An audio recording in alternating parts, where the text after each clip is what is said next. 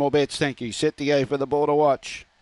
Ready away. Beginning well from the inside. Urquhart Jacket's got the lead. Charging after. Dark Vader goes up strongly and side by side they go. And getting into third was Emily Az. So Captain Abbott one, two, three at this stage and going to the front. Dark Vader. Here comes a move around the outside by Redder starting to stoke up. The only one that can't win is Big. It's at the tail end of the field. Out in front, Dark Vader leads by two lengths. Urquhart Jacket coming back at it. Around the outside, Redder's running on as well. Urquhart Jacket up the inside. Dark Vader the outside. Oh! Dark Vader and nose in front of Urquhart Jacket. Third placing Redder. Uh, fourth Emily Az. And at the tail end of the field was Big Rough.